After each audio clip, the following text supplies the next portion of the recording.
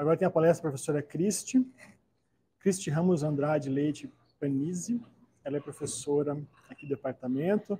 Tem a formação na graduação de odontologia, né, como antes, todo lugar tem um é, Marta, todo lugar tem um dentista trabalhando com foto em população. Encontrei uma colega nossa, nossa faculdade, aqui também trabalhando né, com uma formação. Mas tem a formação de mestrado, doutorado, aí já em fisiologia humana, né, também aqui por, por é, São Paulo. E realizou um, pós-doutorado depois assim, na Flórida, 2015, e investigando sensibilidade orofacial em animais portadores de inflamação da articulação temporomandibular. Né? Atualmente ele é professor titular junto ao nosso departamento de psicologia, aqui da Faculdade de Filosofia, Ciências e Letras Ribeirão Preto. E tem experiência na área de fisiologia, ênfase em neurociência, atuando principalmente nos seguintes temas: comportamento emocional, ansiedade, medo, estresse, dor, analgesia, inflamação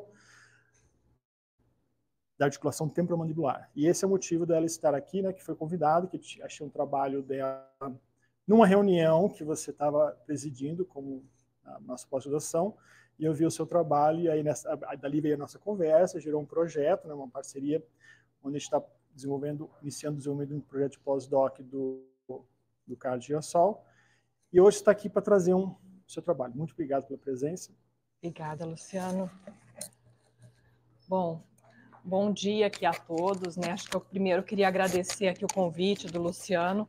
Como o Luciano aqui explicou, eu sou professora aqui do nosso departamento de psicologia da Faculdade de Filosofia, mas eu tenho, que a gente estava falando no intervalo, uma formação bastante diversa. Eu acho que isso que me diferencia, se assim eu posso dizer, né? Então, minha formação básica é em odontologia, Sou neurofisiologista, feito aqui pela Faculdade de Medicina, então me interesso por essas áreas que tem essa correlação.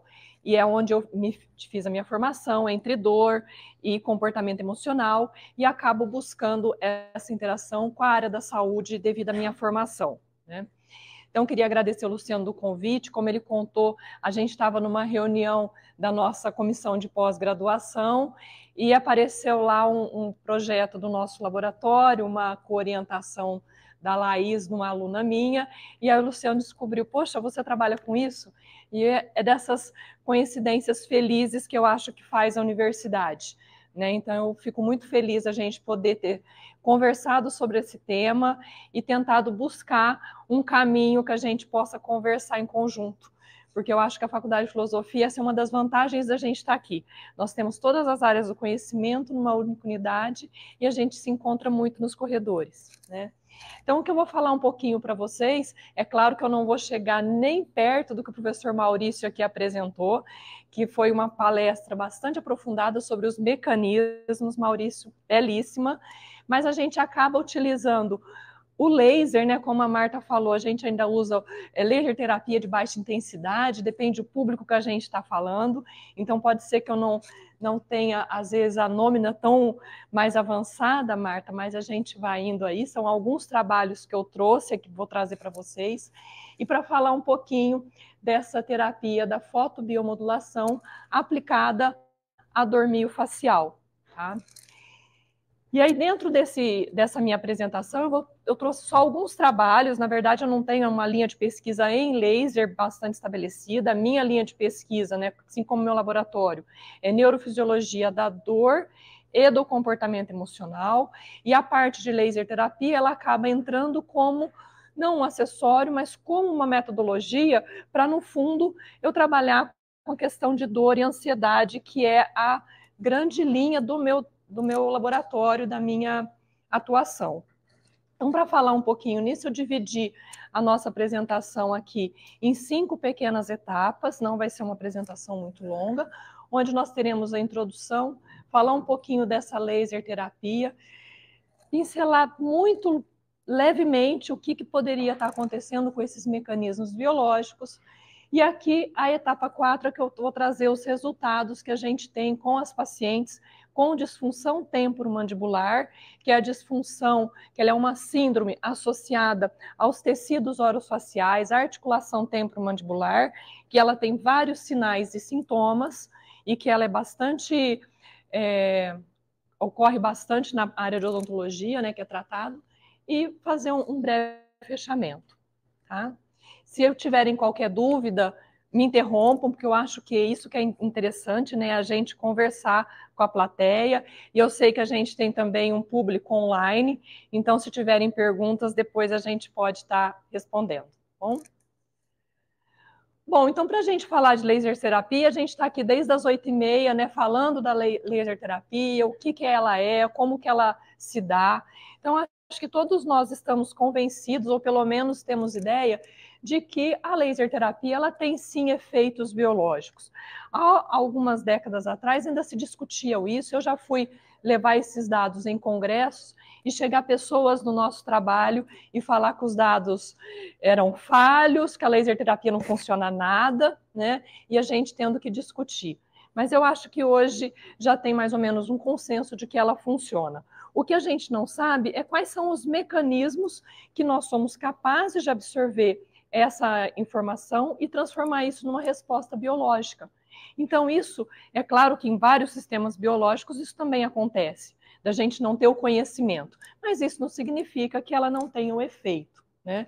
Então, aqui, prometo, é o único slide que eu trago né, de mecanismos, porque eu não, né, não faço essa parte de bioquímica, mas a gente sabe aqui que a laser terapia, né, quando você faz uma fotobiomodulação, uma insere o laser, você tem uma cascata de eventos que acontece. Então, é uma cascata de eventos que foi apresentada aqui em palestras anteriores para vocês, que levam ao final a uma proliferação ou migração celular ou aos efeitos biológicos que nós estamos buscando. Né? Nós não estudamos esses efeitos biológicos em si, mas o que estaria acontecendo ao final, a gente vai observar. Então, o que a gente sabe é que quando a gente tem a fotobiomodulação, nós temos aqui várias moléculas que são ou estimuladas ou inibidas e que seriam as responsáveis pelos efeitos que nós estamos observando, no caso, por exemplo, da modulação de uma resposta inflamatória ou de uma resposta dolorosa, que é o que a gente avalia nos nossos pacientes. Então, aqui o professor Maurício estava falando né, dessas cadeias de ativação da mitocôndria, de ATP, de respiração celular. Então, para além disso, a gente vai para os efeitos. Então, a gente tem que essa fotobiomodulação ela ativa fatores de crescimento celular, ela interfere com as interleucinas e com as citocinas inflamatórias, ou seja, a gente tem uma modulação de respostas, não, Maurício?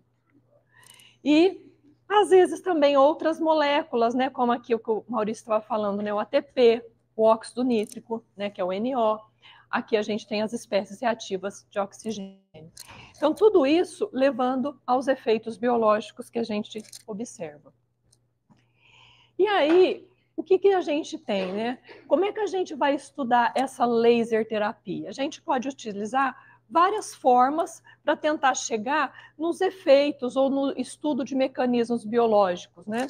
Então, a gente tem modelos animais, e estudos clínicos, como a gente também tem esses estudos que são feitos de, em culturas celulares. Né? Então, vários, várias formas. Qual que é a grande diferença? Que nós estamos trabalhando com tecidos diferentes.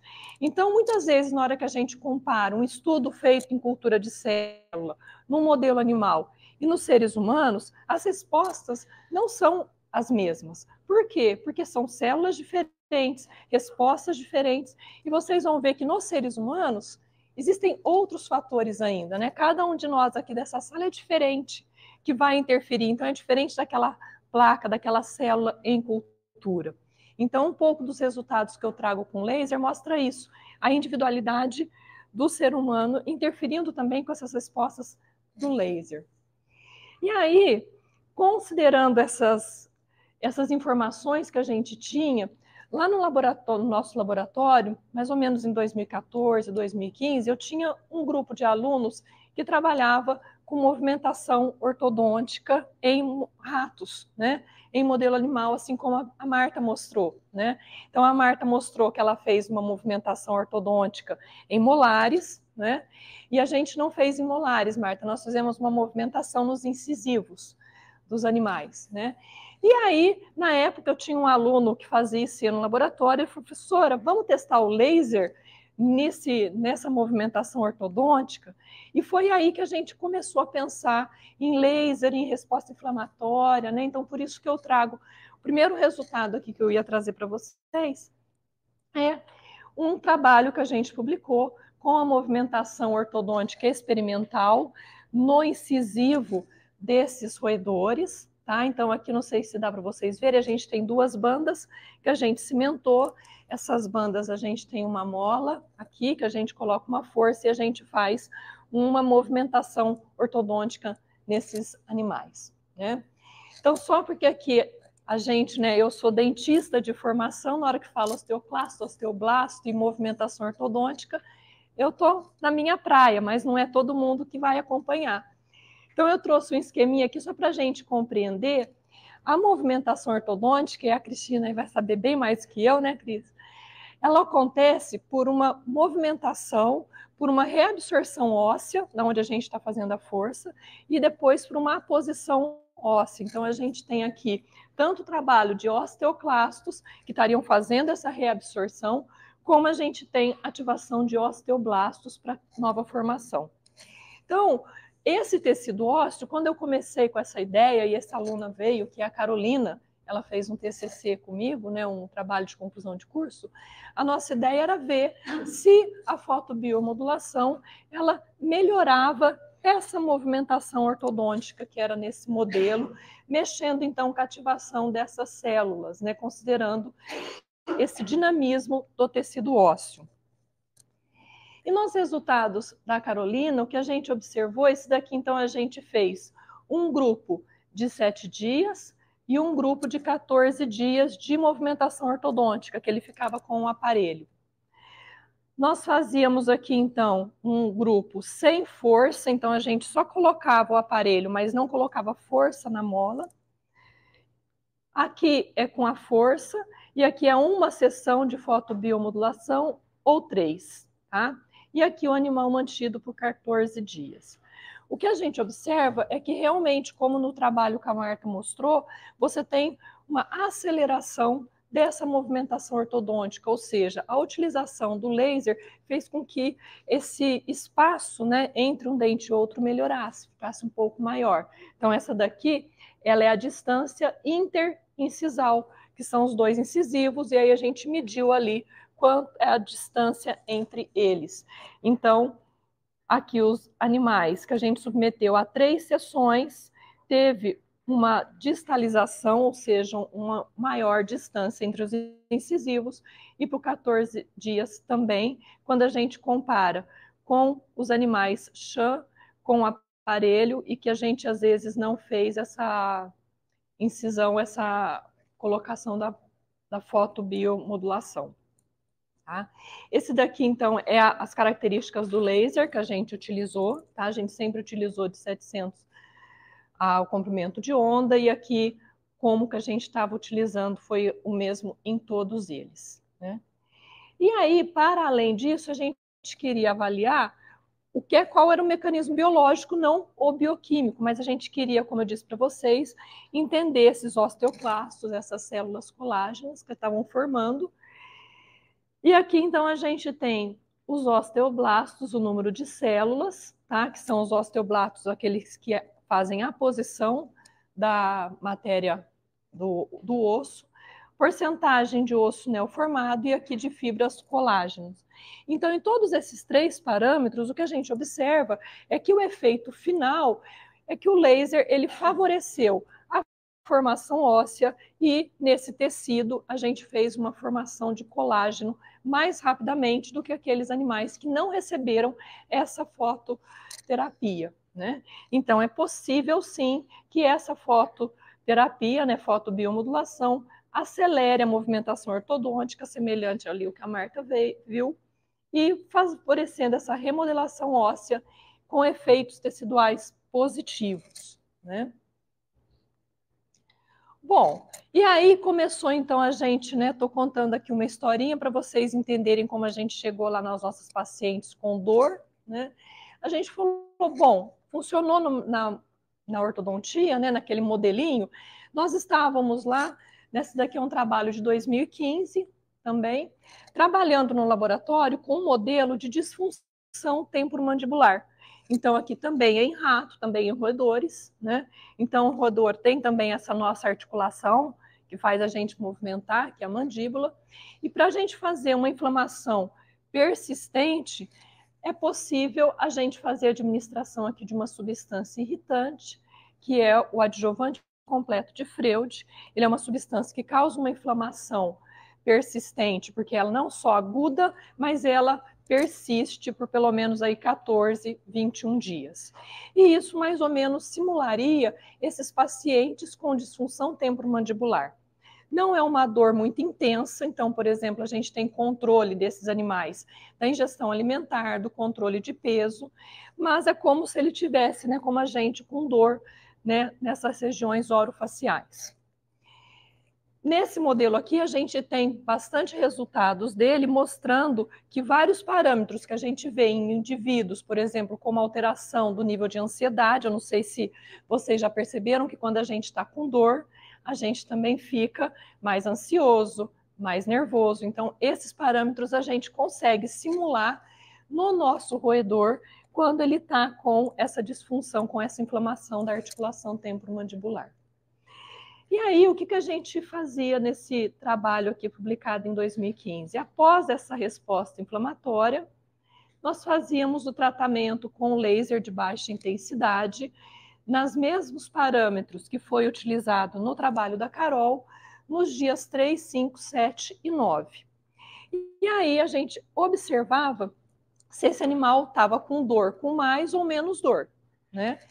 E aí, aqui a gente tem o limiar de retirada da face. Esse limiar de retirada da face é feito por um teste que é uns filamentos de Von Frey. Ele é um teste onde a gente pega e encosta um, um filamento que ele não é pontiagudo, ele é com a ponta romba, mas a gente encosta e emite uma força.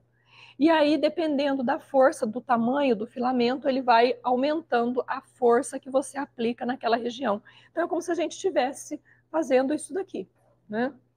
E esse, então, é um estímulo mecânico. Se o animal, por exemplo, a gente está com dor, se a gente encosta, a gente retira do estímulo.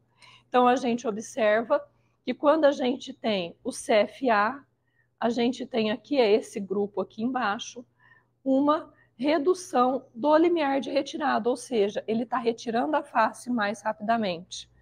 E quando a gente faz o tratamento com laser, é essa outra linha aqui, que tem esse quadradinho aqui vazio, a gente tem essa recuperação, ou seja, você reduz né, essa redução do limiar. Então, a gente fala que a gente reduz a alodínia mecânica que estava sendo submetida pelaquela resposta inflamatória. Esse segundo gráfico aqui, ele mostra, na verdade, o que a gente fala de hiperalgesia, é um teste de formalina, então é no animal, tanto o saudável, ou seja, sem inflamação, como o animal com inflamação persistente, a gente administra um segundo estímulo inflamatório, que é a formalina, na região orofacial. Né? Então, esse animal ele vai coçar essa região. E quando ele já tem uma resposta inflamatória, todo o sistema dele está sensibilizado. Então, a gente também, né? A gente está com uma sensibilização de todas as vias que levam essa informação até o sistema nervoso central, que é o que a gente observa aqui, ó. Então, este daqui é o nosso animal CFA, mostrando que o segundo estímulo inflamatório promoveu, olha, uma resposta bem mais acentuada. E nos animais que receberam esse tratamento com laser, nós não observamos essa hiperalgesia, né? Então, mostrando que alguma coisa ali o laser estava fazendo que reduzia a resposta para dor e para estímulos mecânicos. No trabalho da Amanda, nós trabalhamos com alguns marcadores de respostas inflamatórias, né? Então, o que a gente fazia com aqueles animais após os experimentos? A gente submetia os animais à eutanásia e fazia a remoção do gânglio trigeminal. O gânglio trigeminal é onde estão localizados os neurônios sensoriais que inervam toda essa região orofacial. E a gente queria saber se lá naqueles neurônios você já tinha instalado um processo inflamatório ou algum outro mecanismo. E aí, para isso, nós trabalhamos com dois marcadores na época, que são as metaloproteinases. As metaloproteinases, a gente sabe que dentro da cadeia de resposta inflamatória, elas são duas é, substâncias que elas fazem uma ativação dessa resposta inflamatória, fazendo migração de células inflamatórias e fazendo uma cascata de eventos. Na década de 90, tinham sido publicado que essas metaloproteinases, elas estavam envolvidas tanto no início da resposta inflamatória como no final. Então a gente falou, bom, vamos ver se nesse nosso modelo a gente tem as metaloproteinases e se o laser tem algum efeito deletério ou não nessas metaloproteinases, tá? Então aqui é uma fotografia de uma zimografia in situ, que, in situ, que aqui a gente tem também aqui as pesos moleculares. Essas três aqui são pesos moleculares da metaloproteinase do tipo 2 e essa 95 aqui é a metaloproteinase do tipo 9. Então, a gente sabe que a metaloproteinase do tipo 9, ela é ativada no início da resposta inflamatória, e a tipo 2, ela é mais ativada para manutenção dessa resposta inflamatória. Aqui a barra em preto é o grupo CFA. Então, mostrando que quando você tem essa resposta inflamatória periférica, né, aqui no, na articulação temporomandibular, Lá no gânglio, a gente já tem aumento dessa substância, dessa marcador inflamatório, que é as metaloproteinases. E ao lado aqui, olha, que a gente tem em cinza aqui, ó, chumbo, é o grupo que foi tratado com o laser, mostrando que o laser, qual era aquele mecanismo que eu observei que estava reduzindo a dor? Possivelmente ele estava reduzindo essa resposta inflamatória, porque ele consegue inibir o aumento da expressão tanto da metaloproteinase do tipo 9, né, como as do tipo 2. Além disso, as metaloproteinases, elas precisam saber se estão ativas, né? Falar, ah, tá bom, se aumentou e diminui, mas elas estavam ativas ou não? As metaloproteinases, elas promovem né, degradação de várias coisas, então ela tem o que a gente chama de uma atividade genatilolítica, tá? Então a gente foi ver se ela estava realmente ativada né? Porque a gente tem que mostrar não só a expressão, mas se ela estava ativada. E aí a gente viu que os animais do grupo CFA com inflamação tinha uma atividade gelatinolítica bastante intensa e quando a gente tratava com laser, a gente reduzia essa atividade. Ou seja, o laser nesse meu modelo animal de resposta inflamatória, que estaria simulando uma disfunção temporomandibular, ele reduz a resposta inflamatória. E ele, então, estava sendo eficiente para reduzir a dor naqueles nossos animais. Né? Bom, aí veio a pergunta: aqui a gente está trabalhando com modelo animal e nos seres humanos é igual? Então, a gente pode usar o laser para tratar a dor orofacial, né? E pode. E aí Nessa época, a Laís trabalhava com a gente no laboratório. A Laís, ela foi a que trouxe essa vertente da gente trabalhar com pacientes no laboratório.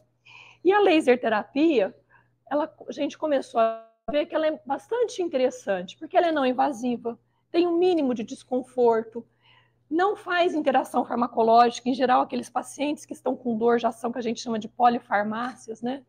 E tem poucos riscos. Só qual que era o problema? Qual que é o problema do laser que eu estou falando, né? Que a gente começou a introduzir o assunto com isso. Ele é muito controverso. Muita gente fala que o laser não funciona, né? Aí a gente começou, vamos começar então observar, estudar esse laser mais a fundo, né?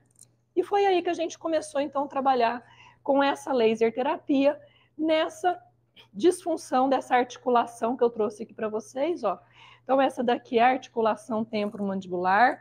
Ela é uma articulação extremamente importante no nosso corpo, ela é biarticular, né? então ela mexe esse nosso osso da mandíbula.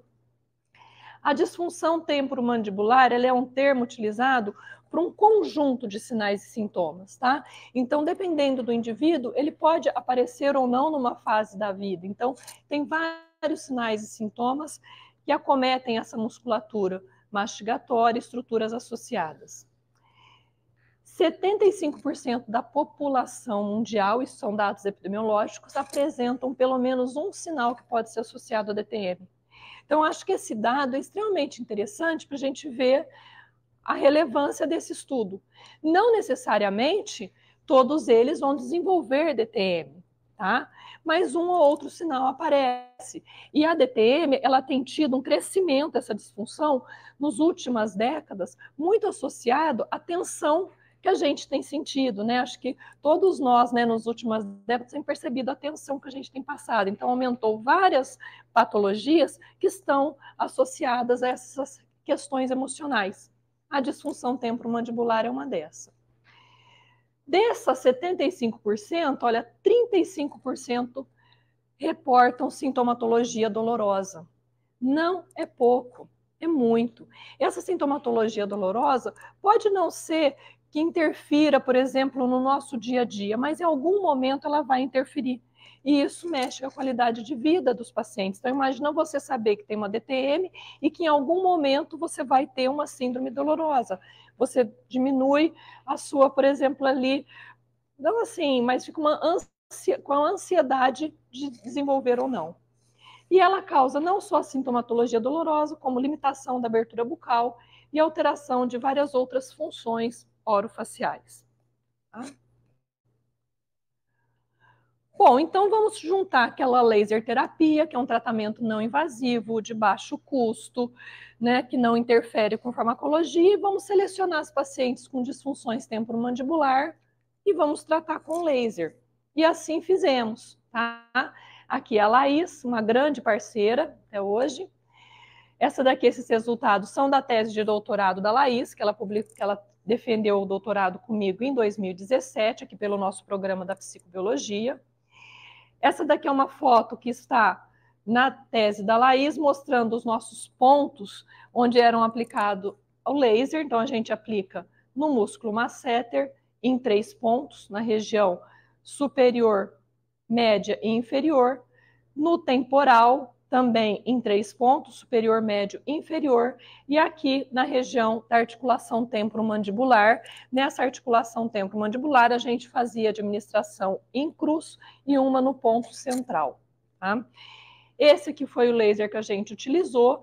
Nesse laser, esse estudo foi um duplo cego, então como que a gente, para entender o que é esse estudo, nem a Laís, nem a paciente sabia qual que era o laser que ela estava aplicando, se era a ponta ativa ou não, que ele foi calibrado já do nosso fabricante, tá? Então era a ponta A e a ponta B, ambos tinham a luz né, guia para o paciente não saber, e aí a gente comparava o antes e o depois dessas aplicações ao longo do tempo.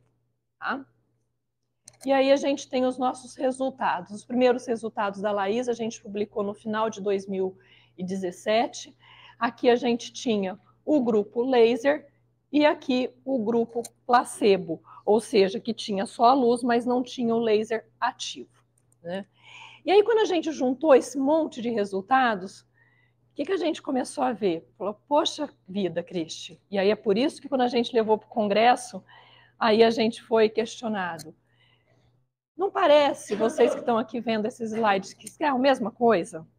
Né? Então, a gente tem aí um grupo laser e um grupo placebo, onde aqui o VAS é a escala visual analógica para percepção de dor, ela vai de 0 a 10 e o paciente fala: olha, minha dor hoje é 5, 4, então é uma avaliação de dor reportada pelo paciente. Tá?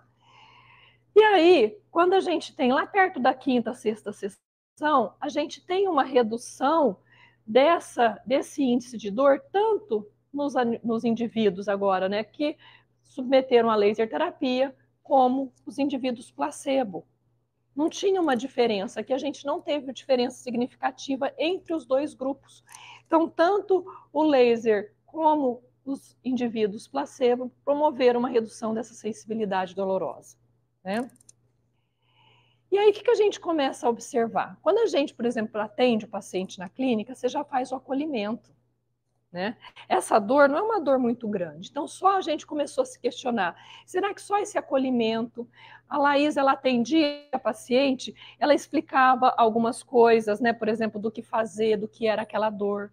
Então, a gente começou a ver que esse efeito, e tem a questão também tecnológica, o paciente se sente tratado. É diferente do nosso modelo animal. Né? Aqui a dor, a gente está trabalhando com todas as questões subjetivas.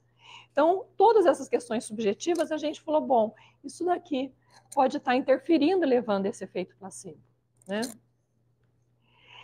Um outro resultado que é bastante interessante é o limiar de dor à pressão. Então, é nesse mesmo trabalho aqui, a gente fazia, não mais perguntando para o paciente qual que é a sua escala de dor, mas a gente tinha, tem um algômetro que a gente faz uma pressão e a gente então avalia qual que é a pressão que você reporta, estou com dor ou não estou com dor. Essa avaliação a gente avaliava não apenas em regiões aqui do masseter, do temporal, perto da articulação temporomandibular, do occipital, mas em regiões mais distantes da região orofacial, tá? Porque a gente queria saber se aquele indivíduo com uma disfunção temporomandibular apresentava diferentes sensibilidades dolorosas em outras áreas corporais. E a gente observa que sim. Então, esses daqui são indivíduos do grupo controle, que não apresentam disfunção temporomandibular, e esses aqui são pacientes do grupo com disfunção. E a gente observa que há esse limiar aqui sempre maior no grupo controle, quando comparado com o grupo da disfunção temporomandibular. Ou seja, olha, mesmo longe das regiões da face, esses indivíduos, eles tinham limiares maiores, ou seja, a gente observa nesse indivíduo com dor uma alteração de uma sensibilidade em todas as outras áreas corporais, eles são mais sensíveis, estão sentindo mais essa, esse estímulo. E aqui é na seção 8, tá? após a administração da laser terapia. E a gente nota uma diminuição ou uma melhor suporte. Então, por exemplo, aqui era 1.15, passou 1.38, né? alguma diferença. Fala, nossa, Cris, mas a diferença é muito pequena. Sim, é muito pequena essa diferença do laser quando a gente faz essa terapia. Entretanto, quando a gente trabalha com dor, tem alguns protocolos clínicos que dizem que se você conseguir, com uma terapia, reduzir em 30% a dor do paciente, ela já é um efeito considerável. Tá? Então, mesmo que seja pequeno, o laser tinha esse efeito quando a gente estava falando do limiar de dor à pressão. Mas ela não tinha uma diferença estatística. Isso daí é um conjunto de todos os nossos pacientes. Isso passou a nos incomodar. Falou, mas eu sei que o laser tem efeito. Nós mostramos nos nossos ratos que tem uma redução da resposta inflamatória. Então, nós começamos a olhar com lupa esses nossos pacientes algo estava acontecendo que estava interferindo naquela resposta ao laser. Então, nessa segunda análise que a gente fez, e aí nós publicamos, acho que em 2019, depois um em 2020, a gente começou a avaliar efeitos não específicos, tá? Então, o que, que a gente começou a avaliar? Ansiedade, cortisol salivar, uso de contraceptivos e o ciclo menstrual, a fase do ciclo menstrual. Não contei para vocês, mas todos esses trabalhos, eles foram realizados em pacientes mulheres, né? Por quê? Porque a maior incidência da disfunção temporomandibular ocorre em mulheres e não em homens. E aí a gente começou então tentar buscar conjuntos de pacientes que podiam estar tá respondendo aquele laser ou não, ou quais seriam os fatores importantes para a resposta ser efetiva ou não. E aqui a gente incluiu também um novo grupo, né? Então, nos estudos, a gente tinha um grupo saudável e a gente tinha um grupo com laser e outro que recebia um tratamento com o mesmo equipamento, com incidência da luz, mas sem o laser ativo. Como a gente estava na ideia de que pode ser que só o acolhimento, só aquela tecnologia podia interferir, nós juntamos aqui um grupo sem tratamento nenhum. Então, a Laís fazia o diagnóstico dessa disfunção, media essa percepção da dor e não atendia mais esse paciente, tá? Deixava ele lá em espera. Aí ela só fazia as avaliações de dor, mas ela não dava instruções, que hoje a gente sabe que para dor a gente tem a educação e dor, ela é fundamental, né? E a gente não fazia também a incidência de qualquer coisa naquele indivíduo, para que a gente tirasse esses efeitos, tá bom? Nós fazíamos coleta de saliva para depois fazer avaliação do cortisol salivar. E por quê? Porque o cortisol salivar ele é um um marcador biológico, não é um único, tem vários outros que são melhores, mas que mede uma depressão ou estresse mais efetivamente. Contraceptivos orais, porque aí a mulher ela não está mais com flutuações hormonais. E aqui aquelas que não faziam uso, então estavam em diferentes fases do ciclo. Então a gente começou a pegar aquele monte e dividimos. Tá? E aí o que a gente começa a ver? A gente começa a ver, olha, agora a gente tem efeito, né? Vamos separar. Então, o efeito do laser, ele depende do indivíduo. É o que a Marta estava falando ao final dela, da palestra dela. Qualquer tratamento que a gente vai fazer, a gente tem que ter um diagnóstico muito bom para aquele indivíduo. Não serve para qualquer um. Então, aqui a gente tem já, olha aqui o laser e o placebo, mostrando então aqui pela mesma escala visual analógica, né, linha de base ao longo dos 30 dias, e aqui os indivíduos sem qualquer tratamento, né? mostrando que tanto o laser como o placebo tiveram efeito, e aqui essa flutuação dos indivíduos sem tratamento. Isso daqui é bastante característico da disfunção temporomandibular, porque essa disfunção ela não é uma dor assim persistente, né? O indivíduo com disfunção temporomandibular, ele apresenta picos ao longo da vida, né? Por estresse ou por alguma condição, essa dor ela aumenta e depois ela vai passando. Então, é uma curva característica, mesmo se não fizer nenhum tratamento, tá? Então, a gente estava aqui tirando, olha, realmente o laser, né, o tratamento, ele tem um efeito placebo que a gente associou a esse acolhimento, a essa tecnologia que a gente estava oferecendo.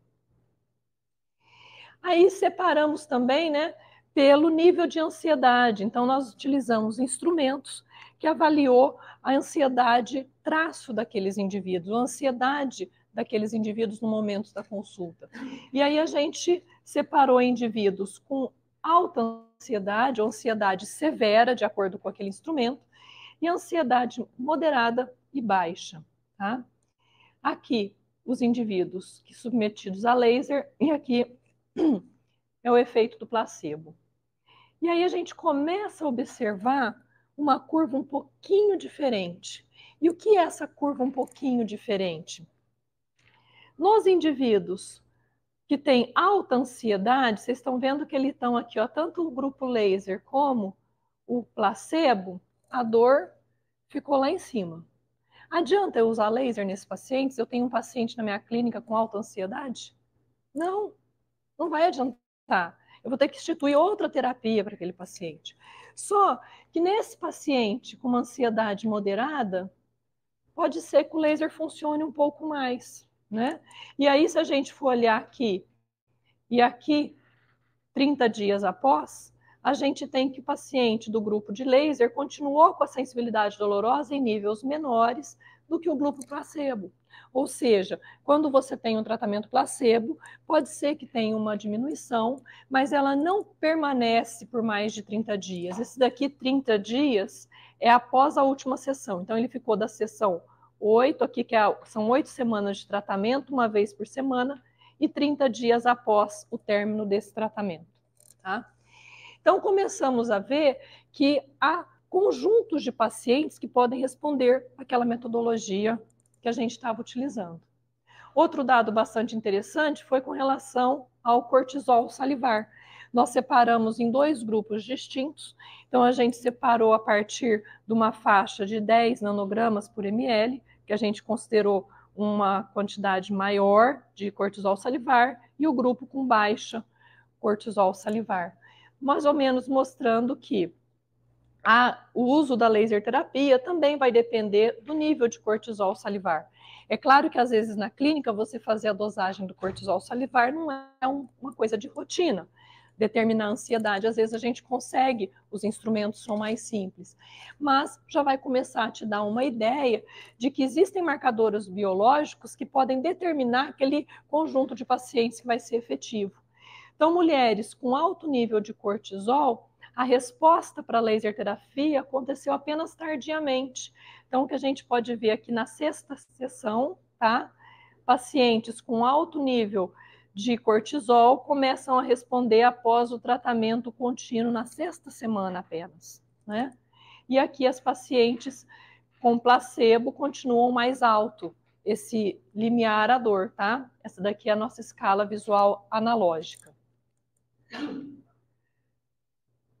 Fizemos avaliação também do uso de contraceptivos orais, então pacientes sem contraceptivos orais e com o uso de contraceptivos orais. Qual que é a diferença desse conjunto? Quando você faz uso do contraceptivo, você tem os seus hormônios todos regulados e sem você tem a flutuação. As pacientes sem o uso do contraceptivo oral apresentaram, tanto do grupo laser como placebo, um limiar, ou seja, elas reportaram mais dor do que as pacientes com o uso do contraceptivo. Mostrando também aqui, olha, que essas flutuações hormonais interferem na sensibilidade da dor. Isso estava já descrito na literatura, né? E quando a gente tem o grupo laser, que está mostrando aqui, olha, nessa minha setinha aqui vermelha, elas respondem também um pouco melhor do que o placebo. Então, o que, que eu estou querendo reforçar aqui? Que não é que o laser não funciona, é eu que não estou usando ele direito. Não é? Eu não estou selecionando, eu não estou avaliando de forma correta a utilização. Então, as mulheres que não usam os contraceptivos apresentaram maior responsa responsividade porque a gente tem essa flutuação aqui quando comparadas ao tratamento placebo, que é esse daqui, ó. Tá? E esse daqui, ele é o mais recente trabalho que a gente publicou sobre laser, esse daqui agora é o de 2023, quando todos os outros que a gente estava mostrando, a aplicação era em pontos pré-determinados. Então a gente aplicava três no temporal, três no masseter e aqui em cruz, na articulação temporomandibular, tá? E a gente tinha esses efeitos. Nesse daqui, a ideia da Laís, então esse daqui eu gosto muito desse trabalho aqui, porque já é de uma aluna que foi orientada para Laís, né? Então a gente mostra aqui com muito orgulho. Então, a Letícia, que é aluna de iniciação científica da Laís, começou a investigar, em vez da gente colocar o laser na onde pré-determina, vamos palpar esse paciente e vamos colocar o laser na onde ele acha que é mais efetivo, está sentindo mais dor, né? E a gente comparou. Então, ela separou um conjunto de pacientes em pontos pré-estabelecidos, que são os que a gente utilizava nos trabalhos anteriores, e aqui, durante a palpação, ou seja, durante o exame clínico do paciente, determinava quais eram os pontos que ele tinha maior sensibilidade e a incidência do laser era feita nessa região. Esse estudo foi feito com uma sessão de laser também por semana e ele foi feito durante quatro semanas. Aqui a gente tem o mesmo comprimento de ondas, mas com doses que a gente precisa melhorar um pouco essa fala, né, Marta? de um pouco diferentes, porque a ideia era comparar. Né? Eu acho que é por isso que eu estou aqui, eu vou aprender muito com vocês. E aí, nesse estudo, a gente fez a avaliação do inventário breve de dor, um questionário de dor do McGill, e usamos também a escala numérica, que é aquela visual que a gente estava mostrando nos outros resultados. Então, aqui a gente tem o grupo, que é o grupo G1. O G1, ele é pontos pré-determinados e o G2 é o novo. Então, seriam nos pontos que percebiam perceptíveis de dor para o paciente. Então, a gente observa, olha, esses dois aqui que eu estou mostrando são esses dois aqui que é o G2. Então, a gente mostra que, tanto nos grupos, né, nos indivíduos que receberam laser em pontos pré-determinados, como desses de pontos que era o paciente que nos indicava, tem uma redução, tanto na escala de dor desta que é a escala de dor de McGill, como a gente avalia também a dor aqui nessa escala visual analógica. Esse daqui, last days, são os últimos dias, então não era a reportagem da dor naquele momento. Era uma pergunta quanto que você sentiu de dor nesses últimos dias, tá? E aí a gente observa que quando você faz a incidência do laser nos pontos que o paciente reporta, como dolorosos, você vai ter uma eficácia maior dessa terapia. Tá? Então, juntando o que a gente trouxe aqui, né, que eu procurei juntar um pouquinho do que a gente faz, o laser, para o tratamento da dor e para o que a gente está buscando, ele é efetivo. Mas ele depende do quê? Ele depende de cada indivíduo, como toda terapia, não é só o laser. Então, quando você vai fazer uma terapia para depressão, cada indivíduo vai funcionar com uma farmacologia diferente. Então, o medicamento que eu vou tomar pode ser que não funcione para o Luciano, né? As doses são diferentes. Assim também para o laser. Então, a laser terapia ela é eficaz para o tratamento da dor miofascial. Ela tem efeitos, mas ela depende de fatores individuais, pelo menos os que a gente mostrou aqui. Então, nível de cortisol, nível de ansiedade daquele paciente, a história prévia, como ele enfrenta aquela situação, se ele está fazendo uso de contraceptivos orais ou não, que fase do ciclo que eu estou avaliando. Eu não trouxe para vocês o gráfico, mas independente da paciente ser com disfunção temporomandibular ou uma, uma paciente sem disfunção, um, grupo saudável, no período pré-menstrual, os níveis da sensibilidade são muito maiores. Tá? Então, se você pegar e fazer a avaliação dessa sua paciente no período pré-menstrual, ela vai te reportar mais dor. E aí você compara com uma outra sessão que ela não estava naquela fase. Né? Então, mesmo as pacientes sem dor saudáveis têm essa alteração, né? devido às fases do ciclo. O laser e o placebo têm a mesma eficácia. Por quê? Porque tem a questão tecnológica associada à técnica, ao acolhimento, às instruções que você faz para o paciente. Tudo isso interfere na visão subjetiva, no comportamento daquele paciente, que a gente não tinha no modelo animal. Não é? No modelo animal, a gente não estava fazendo acolhimento. Então, quando a gente às vezes faz um estudo com células, com modelos animais, não adianta a gente querer transportar tudo exatamente para os seres humanos. A gente tem que procurar fazer essas correlações. Tá? A aplicação de laser ela é mais efetiva se a gente fizer naqueles pontos que os pacientes estão reportando, do que se a gente fizer em protocolos. Então, existe um protocolo? Existe. Existe um é, comprimento de onda melhor, a quantidade que a gente vai fazer, quantas vezes? Sim. Mas a gente também tem que fazer essa dosagem, essa avaliação de forma individualizada. Então, eu acho que isso é o mais importante. Né? É a gente pensar de forma individualizada para instituir qualquer terapia, inclusive a fotobiomodulação. Tá? E aqui eu gosto da gente trazer sempre, né? Porque aqui a gente nunca faz sozinho. Então, se eu consigo esse monte de resultados, é que existe um monte de atores que estão junto comigo e que são, eu falo, meus braços e minhas pernas no laboratório, né? Então, atualmente, nosso laboratório é formado por alguns mestrandos, doutorandos, a gente tem uma mestranda nova, né, Flávia?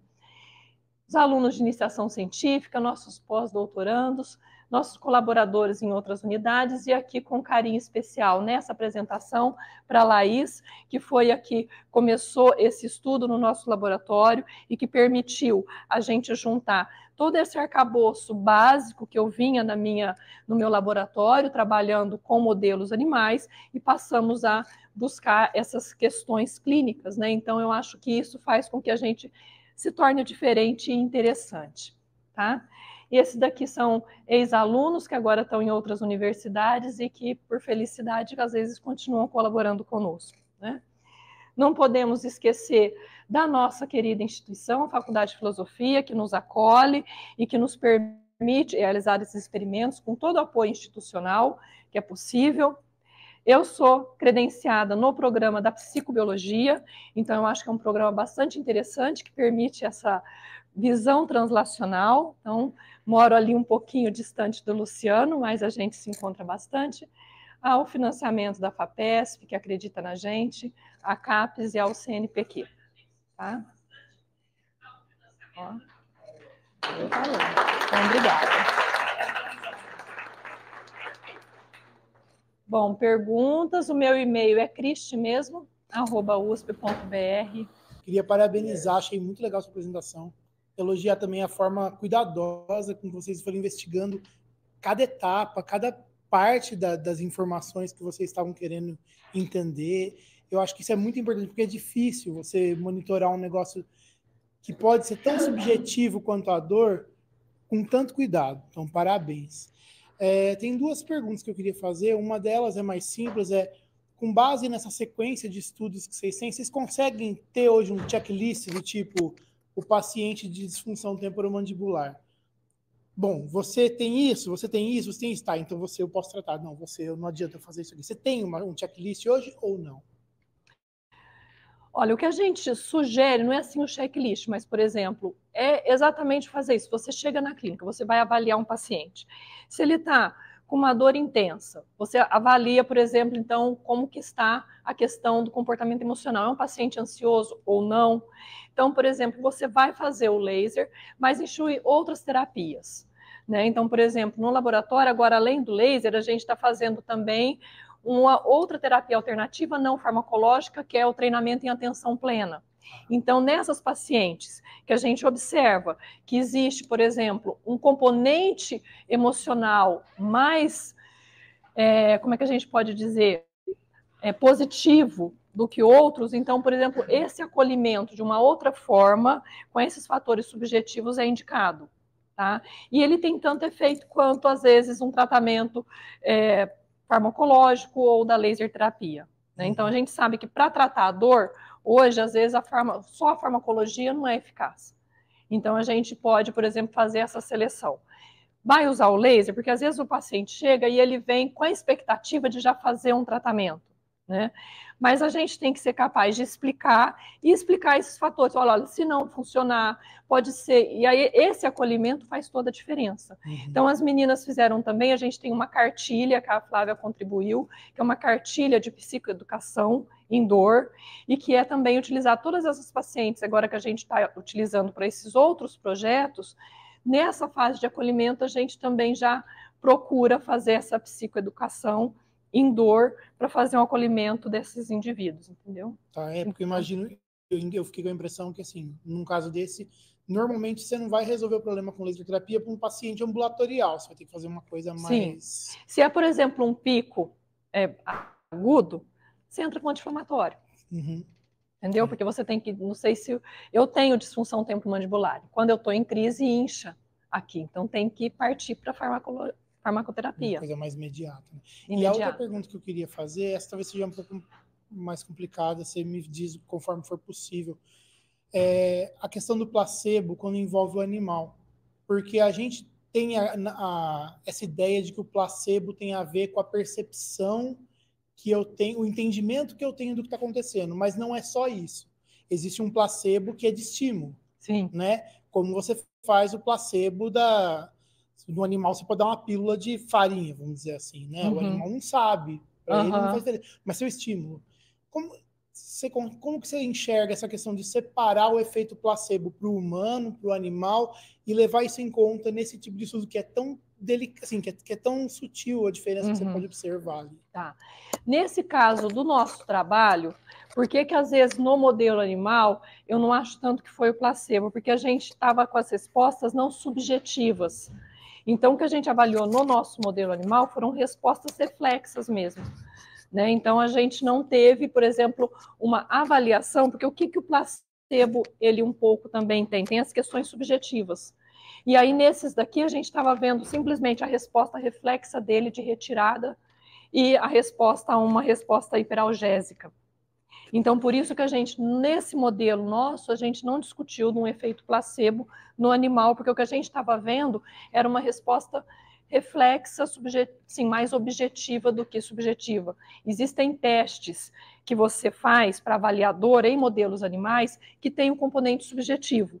Então, a gente tem testes de escolha de lugar, então, são testes de avaliação da dor, do componente emocional nos animais, mas a gente não utilizou nesse que poderiam, às vezes, interferir também, então, ou nos mostrar esse efeito placebo que a gente, às vezes, não discutiu nesse estudo.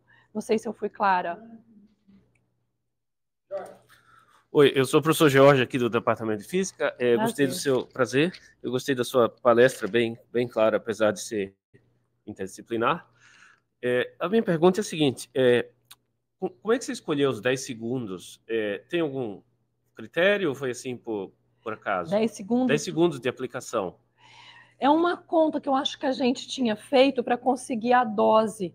Então, aí você tinha o comprimento de onda. Eu não vou, acho que o Luciano e os meninos da física vão saber melhor, mas era para chegar na nossa dose, naquele comprimento de onda, e aí acho que tinha o tamanho que a gente inseria, era, é isso, né, Luciano? Eu não trouxe aqui, mas eu tenho um outro trabalho que a gente publicou, a gente chamou, porque as pacientes depois elas não sabiam ainda se elas eram grupo controle ou placebo. E aí a gente chamou as pacientes um ano depois do término. E aí a gente separou em dois grupos. Para metade das pacientes, a gente contou antes. Falou, olha, você foi grupo, grupo placebo. Para outra metade, a gente não contou. A gente não, por exemplo, fazia avaliação de dor sem ela saber se tinha sido controle ou não. E fazia avaliação de dor depois. Até ela saber se ela era grupo controle, não interferia. Então, por exemplo, se você chegou um ano depois que você fez o tratamento, aí eu conto para você, Marta, olha, você foi grupo é, tratado. Aí eu meço a sua dor. Aí eu falo para. Isso. Aí, se você não sabe, você reporta diferente. Então, só de saber se você foi grupo controle ou não, já impacta no que você acha que é a dor. Então, é um parâmetro difícil da gente avaliar, né? A dor em si. É muito subjetivo. Professora, uma perguntinha rápida aqui. A professora chegou a separar é, grupos em relação a diagnóstico de DTM, bruxismo, se era muscular, se, era, se não era, tá. articular? Tá. Boa pergunta. Aqui nesse conjunto de pacientes aqui, a gente trabalha com pacientes com disfunção temporomandibular muscular, daquele do grupo 2, tá? Então, né, para quem não é da área, a gente tem lá o critério de diagnóstico da disfunção temporomandibular, que é utilizado, que é um padrão mundial, e aí para ter uma Uh, maior padronização eram todas pacientes do grupo de grupo 2, onde a gente tinha DTM de características musculares e descartamos as articulares.